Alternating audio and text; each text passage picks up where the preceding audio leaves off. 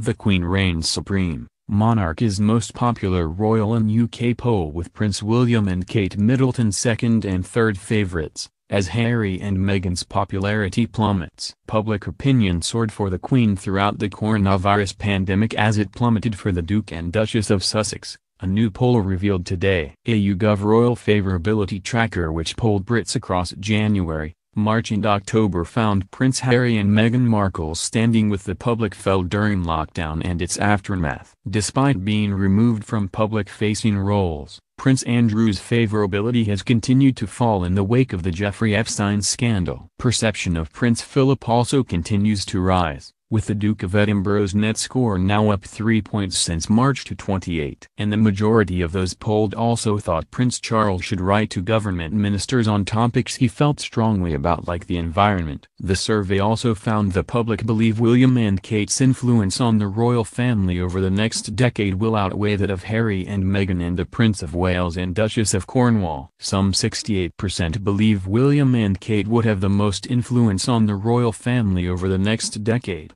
while 12% said Charles and Camilla and 7% Meghan and Harry. Favorable public opinion about the Sussexes has dropped in past 12 months according to YouGov, falling significantly after they said in early January they wanted to step back as senior members of the royal family and work to become financially independent. Harry's positive rating was 71% in October last year, but fell to 55% days after his bombshell announcement while Meghan's rating also dropped, from 55% to 38%, over the same period. During the pandemic crisis the Queen made two important televised addresses to the nation and William and Kate have carried out events in support of businesses as society reopened or thanked frontline and key workers, as did Charles and Camilla. When the public were asked if they had a positive opinion of the Queen, 83% said they did, up on the March figure of 79% while 80% felt favorably about William and 76% about Kate, an increase for the couple. Charles' positive rating remained the same at 59%,